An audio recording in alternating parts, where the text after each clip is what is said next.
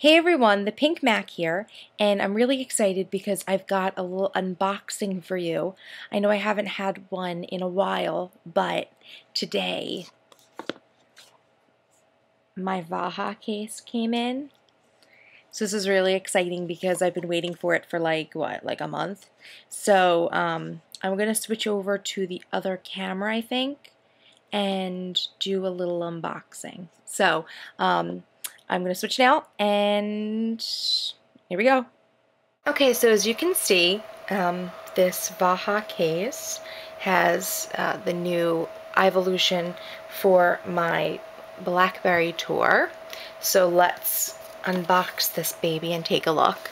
Um, if you checked my blog, you know that I ordered the claret red color on the outside and black on the inside, and um, I was really worried because I was afraid it's going to be too red.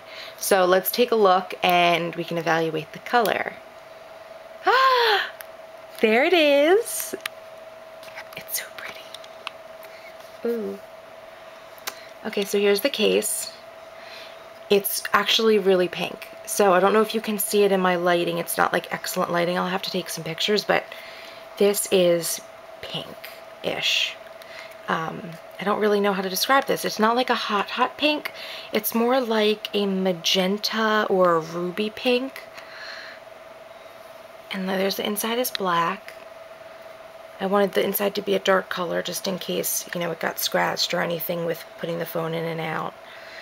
But the outside I wanted to be a bright color. So let's actually, let's put that aside for a second and take my blackberry out of its silicone. So now this is like hot pink, if you want to compare. So this actually kind of shows like a little bit more purple, I think. And then this is more to like a reddish pink, like kind of like a rose color, but I'm not really a good fan of rose, but I am a fan of this color. I think it actually came out really awesome.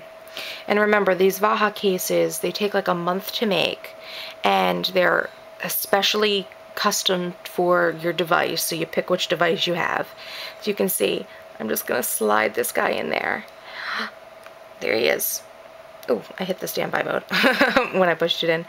But there it is. And there's an opening for the camera and to plug it in. There's my volume rocker and then the headphone jack and then on this side the speaker and the other key are exposed and then this just covers up and it clips over and it's shut and it's got that opening for the camera. There's also something really cool about this case. Blackberries apparently have behind this, did you see that? Let's see. When I put this on it, it turned, you can't see it anymore, the light, it turns off the screen. But then when I open it, the screen goes back on. Did you see that? Let's try it one more time. Screen turns on. Now that's because, like, let's see if we can get a good angle on this. There should be a bump down here. That's actually a magnet that one, whenever you put a magnet up to apparently right here behind this keyboard, it turns the screen off. And apparently that feature will save me battery. So that's really neat. Um, a lot of the BlackBerry cases apparently have that, but it's really great that the Vaja case has it too. That's pretty awesome, and there's a little Vaja logo. I think it's pretty cute. Another thing I really love about these Vaja cases is the way they open and shut.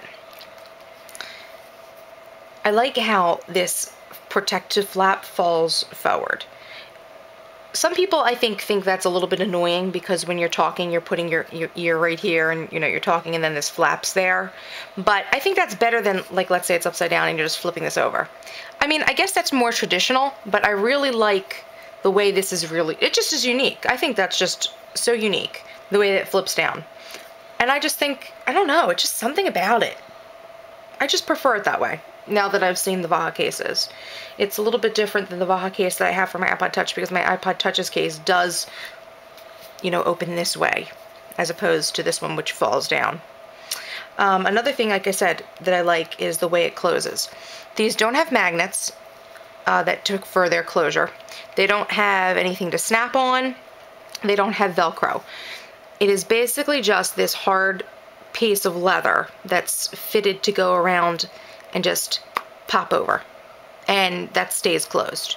Now, a lot of people that I've seen who talk about Vaja cases always question whether or not this flap is going to get soft and then it won't stay on.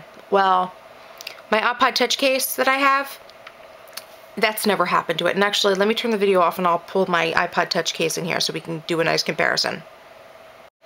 Okay, so as you can see, I just pulled out my gray Vaja case for my iPod Touch first generation. Um, and I wanted to show you two things. This opens, as you can see from the top, whereas this one uh, opens from the bottom to flip over the top, and then this one opens from the top and flips at the bottom. So it's just a style difference, and I just prefer this. I think that this is actually, it's just so unique. I said this already, um, and I'll drop the point, but that's, you know, one difference that I want to show you. The second reason I pulled out this iPod Touch is to show you that this little nub, right, that closes, it's hard. It doesn't bend. I haven't had any problems with it. I know some people out there on the internet question whether or not that is going to stay firm and if it didn't stay firm, maybe if it started bending, you wouldn't be able to keep it on. This is still just as hard to snap on as it was the day that I received it. Same thing with this one, I'm going to assume. It's hard. It's not, there's something under there form-fitting that the leather is wrapped around. I'm thinking it's probably like a plastic a, a really hard plastic that is the outside of this, like, you know, inside of the casing, and then they wrap it the outside with leather. But there's something in there, unless, you know, maybe if I broke it, I don't know if maybe I could possibly snap it. I'm not going to try, but it, I don't think it's ever going to cause a problem. And it just snaps right over it. I just love that because it's just so unique and you're not using some other form of the closure. That every every other form of closure I feel like has some issue, and this one I think is just so unique and just so uh, there's just nothing that could go wrong with that other than maybe if it broke. And so that is the new Vaja Evolution case. I believe it's called Evolution. If it's not, I'll put the correct name up. But there it is. It's pink. Uh, technically, the color is claret red, so if you want to get something from the Vaja collection, this is what claret red looks like. Oh, I should give you a disclaimer, though. Vaja, and I think they say this on their site, since they tan the leather per order, no two colors, real, no two products, no two colors of their leather ever come out the same twice, I guess. Like, if I got another exact one of these, it would be a slightly different shade. Because they tan those and they go in batches and just like clothing when clothing is dyed it doesn't always come out the exact same way twice. And I would assume with leather it's even more difficult to get it to be uniform. So that's kind of just another like I keep saying unique and I feel lame for saying it but it's just another thing that makes these cases so unique and I know they've got a really hefty price tag. This one was $75, I think. But to me, they're worth it. This case is the really the only case I've ever used for this product. And I'm hoping this case is the only one I'll ever need for my BlackBerry. They offer excellent protection. They're just a great design.